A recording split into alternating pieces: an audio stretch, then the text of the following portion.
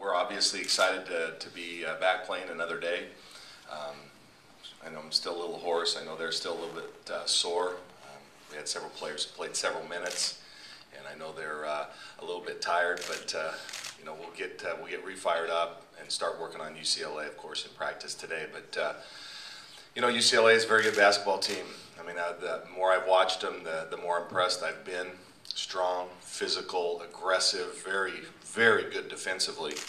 Um, and they're great rebounders. So, you know, I, I, as I look at them, like I said, at some point you get, uh, you just want to turn the tape off because they are very impressive.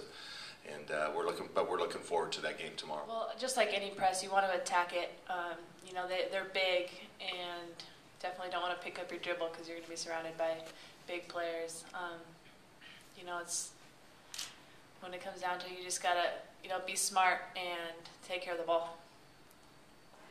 we need to get it to that tempo. I don't know if, you know, they're a very good defensive team, I know they're going to try and slow us down with a little bit of press and that kind of stuff. So we're definitely going to have to do our best to get that tempo going and not keep it in a half court game because we're definitely at our best when we get the ball up and down the court.